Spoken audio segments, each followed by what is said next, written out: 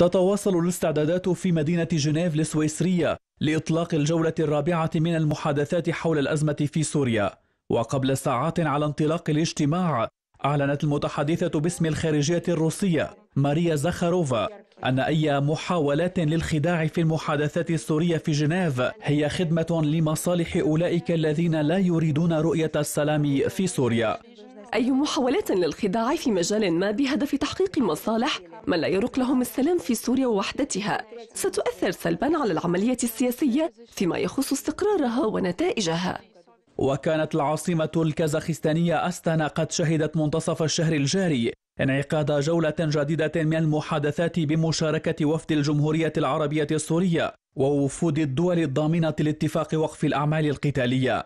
حيث أكد الدكتور بشار الجعفري رئيس وفد الجمهورية العربية السورية أن الأمر المهم هو وقف الأعمال القتالية ومكافحة الإرهاب.